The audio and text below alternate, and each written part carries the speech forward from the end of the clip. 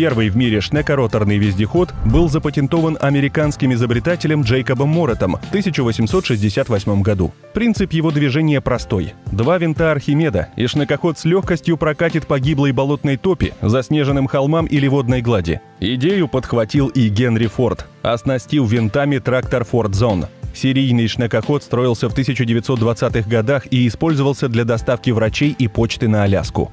В России были запатентованы шнековые сани, созданные Дергинтом в 1900 году, но идея не получила особого одобрения.